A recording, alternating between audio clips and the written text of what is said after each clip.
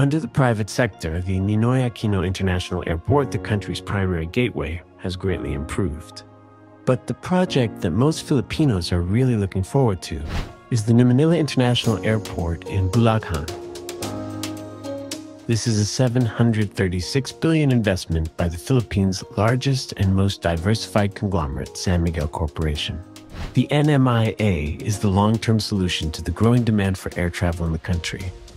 The 76-year-old NAIA has long been operating above its design capacity of 35 million passengers per year. In 2024, it served over 50 million passengers.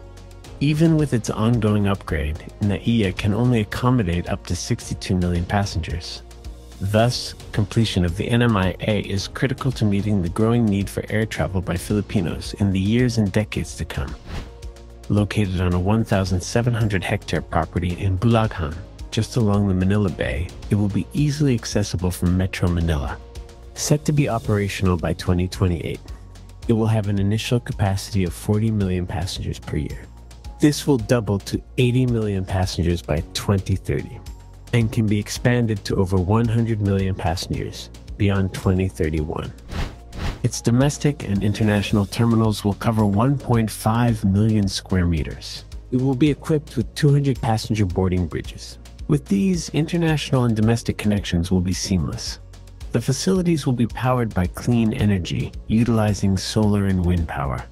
Another key feature, it will have aircraft overhauling facilities that can handle 500 engines per year.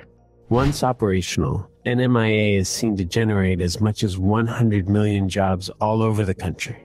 An economic zone, the airport site is seen to attract local and foreign business locators seeking to increase their competitiveness in the region. Beyond boosting economies in central Luzon, the airport will support regional development and tourism nationwide. To develop this engineering marvel, SMC has enlisted the help of international experts. Land development for the project continuously meets the strict standards of the International Finance Corporation. For social impacts, it has provided project-affected families compensation, housing assistance, and skills and livelihood training and job and business opportunities. For biodiversity, SMC has launched a first-of-its-kind biodiversity offset site to advance the protection of migratory birds while ensuring safety at the airport. To protect against flooding, SMC is implementing a comprehensive flood management plan Key to this is the desilting and cleanup of three major river systems surrounding the airport that drain out to Manila Bay, in the process also improving flood mitigation for eastern Bulacan.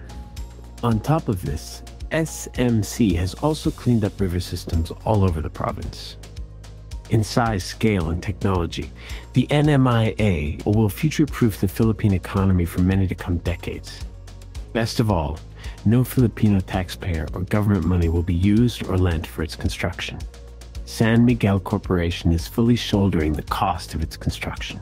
At the same time, government will benefit from its share in the airport's revenues over the term of the concession period, after which it assumes ownership.